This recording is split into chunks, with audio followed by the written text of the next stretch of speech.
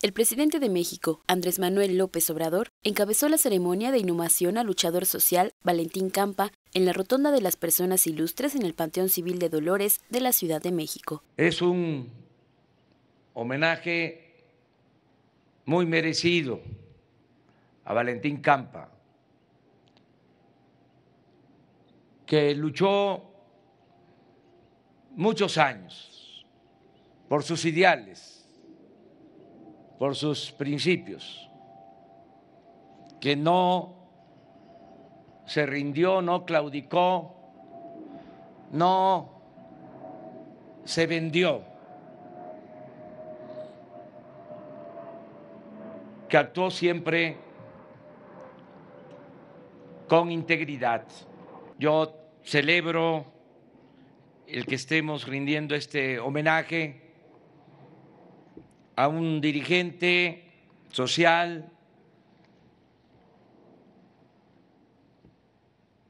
que contribuyó con su ejemplo, con su práctica política, a que en la actualidad estemos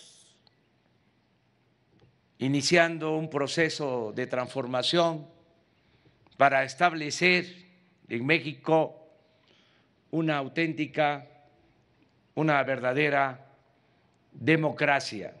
Los encarcelamientos en nada mellaron la integridad del abuelo. Su lucha por la defensa de los derechos y mejora en las condiciones de vida de los trabajadores siempre permaneció intacta. El abuelo nunca se dejó cooptar ante las ofertas de beneficio individual lo mejor homenaje que podemos rendir es comprometernos a no fallarle al pueblo, a no robar, a no mentir, a no traicionar al pueblo de México. Así será. Así vamos a actuar en homenaje a quienes han luchado en otros tiempos por la justicia, por la libertad. Acompañado por familiares de Valentín Campa, la secretaria de Gobernación, Olga Sánchez Cordero, y la jefa de gobierno de la Ciudad de México, Claudia Sheinbaum, el presidente montó una guardia de honor y guardó un minuto de silencio. Valentín Campa Salazar fue dirigente obrero comunista, fundador del Partido Socialista Unificado de México y candidato presidencial en 1976.